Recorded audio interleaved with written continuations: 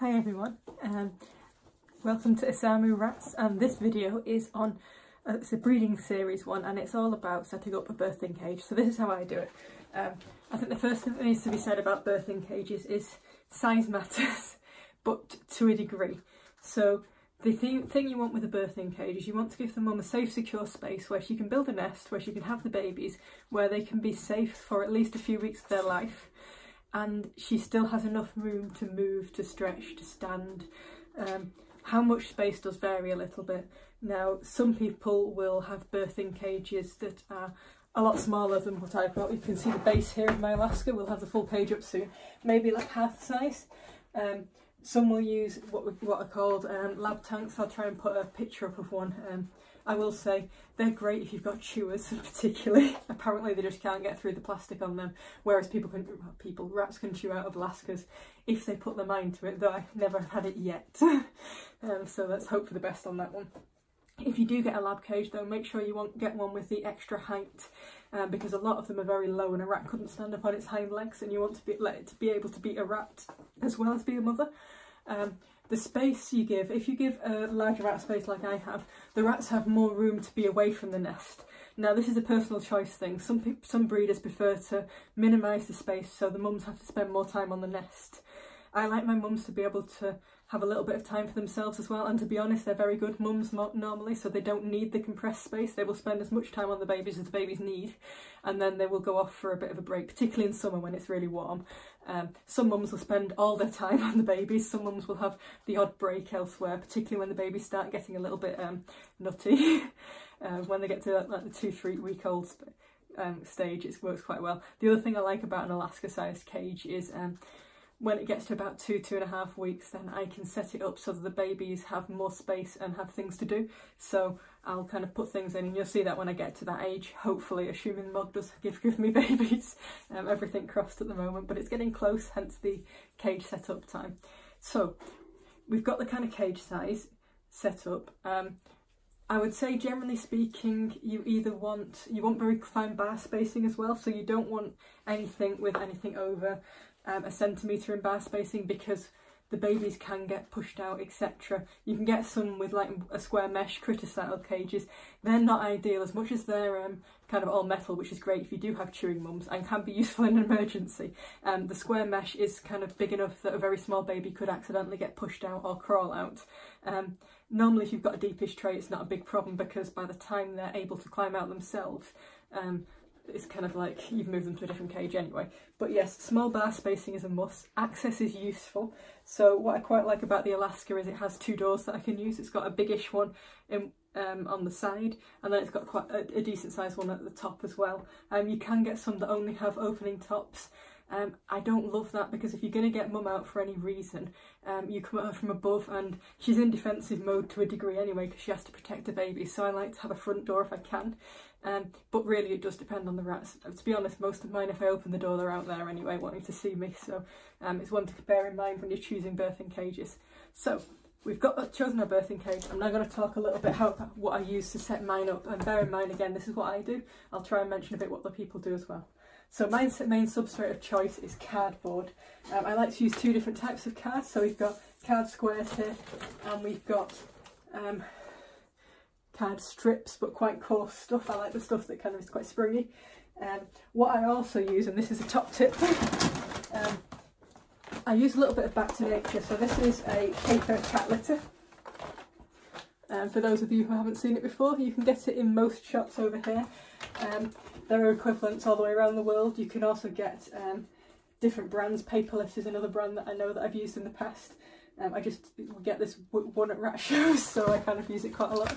Um, what I would say, sort a decent litter like this that is rat safe, put a handful in each corner. Now, cages do get smelly, um, birthing cages particularly. Um, whilst there's not many rats in there, um, mum produces still a fair bit of waste and then once the kittens get a bit older they start stinking as well. Um, and because mum is kind of birthing she will eat the placentas off the kittens and any dead kittens. She, and you'll often feed her a little bit of extra protein anyway. Her poos smell more than normal so by doing this we're, we're taking the heavy kind of soiled areas and we're just putting a little bit of um, litter in there so that just really helps with the smell. In theory you could put a thin layer all over the bottom but to be honest my mum's shovel things around that much. I can only really have any faith that the stuff in the corners is probably going to stay there. I can almost guarantee, though I'm not always right, that my mum my mum's nest will be in this corner or this corner. They very rarely go over there. Occasionally I'll get one in the middle. um, it does vary a little bit by rat but most of the time it's kind of this corner because that's the most safe secluded area. Right, so we've got that in, I'm going to put my main substrate in.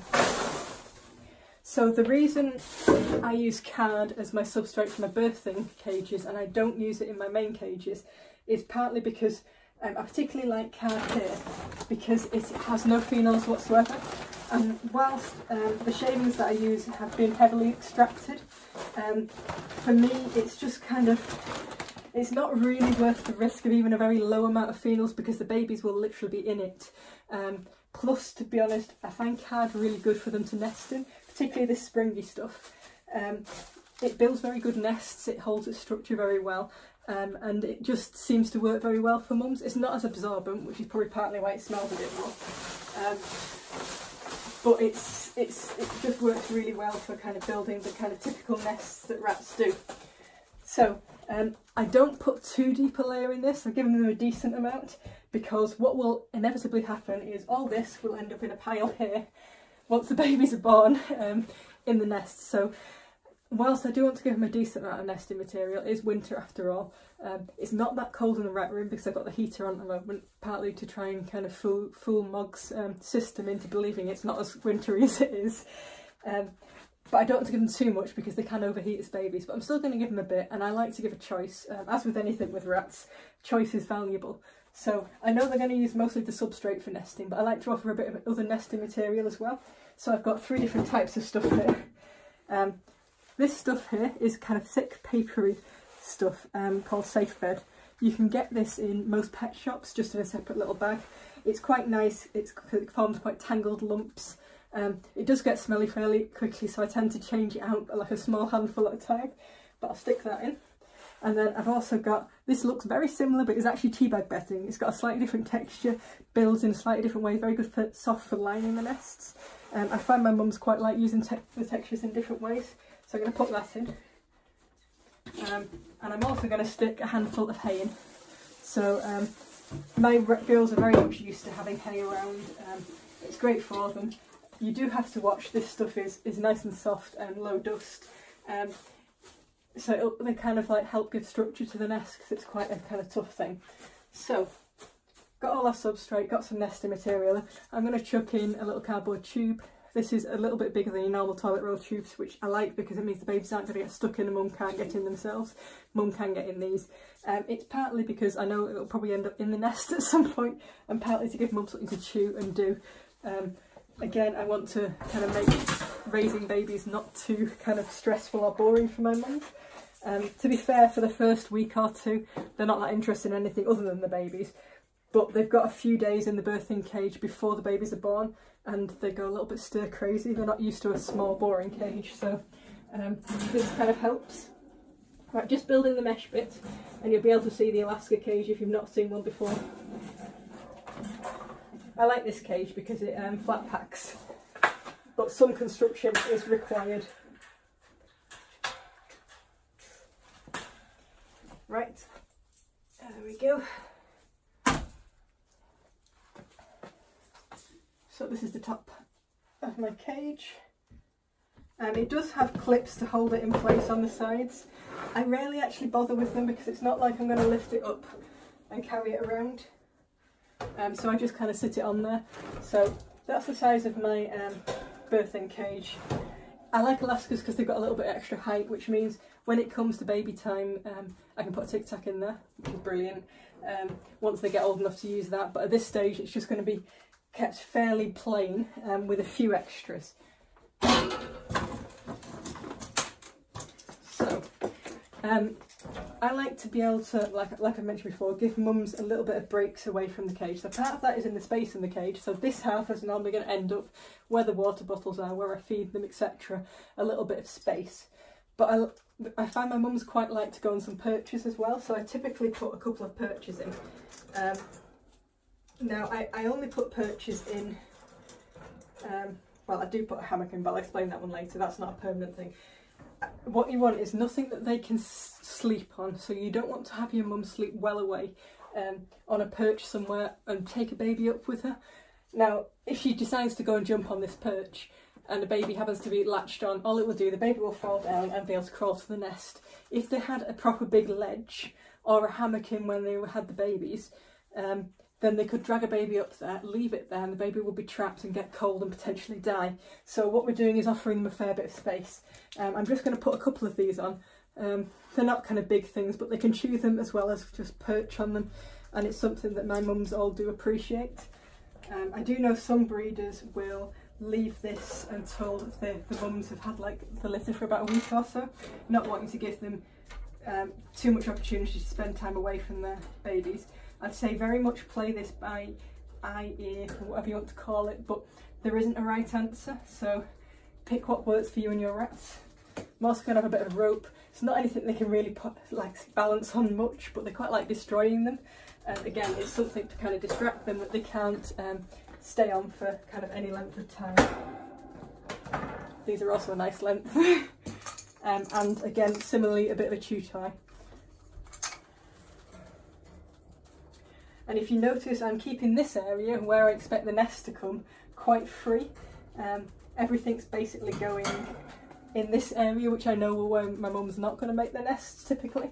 So final thing I'm going to add to the cage for now, this just normal hammock, very square hammock. Um, my girls move into the birthing cage on day 21, um, which is a few days away yet for Mark, but I'm just getting this ready ahead of time because I start back at work tomorrow. Um, but what um, I like to do is I move them on day 21. They're not going to have babies. Um, I've never had day 20 babies, day, day 21 babies, sorry. Um, at the earliest my line have uh, babies is day 22, where you take day one as the day after mating. Um, more typically it's day 23, sometimes day 24. So I'll move them in on day 21 with a friend. Um, they'll have a hammock for that day just so they can kind of settle in and get the things, the cage smelling familiar. And then when I take the friend out on the morning of day 22, I'll whiz the hammock out as well. So this is literally just kind of tide them over and make them feel at home. To be honest, they normally just sleep underneath the hammock, um, but I like to give them the option, at least for that first night while they're kind of settling in with what is an unfamiliar cage ultimately. Right, so let's add this. Um, I also, I put it over their um, nesting section. Um, that encourages them to actually nest in that area.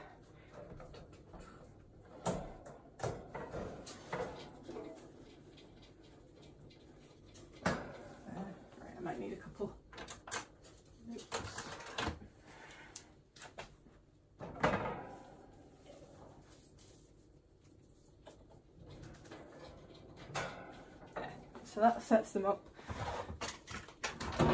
And then of course we need a couple of water bottles. So I always like to have more than one water bottle in every cage.